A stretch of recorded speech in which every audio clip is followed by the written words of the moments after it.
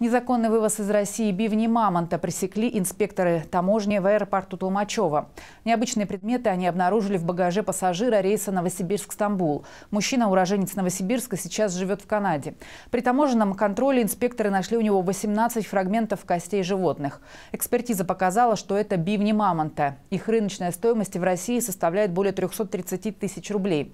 Вывозить такие материалы за границу можно только с разрешения Роспотребнадзора и Министерства культуры. У пассажиров пассажира таких документов не было. В итоге бивни изъяли, а в отношении мужчины завели два административных дела.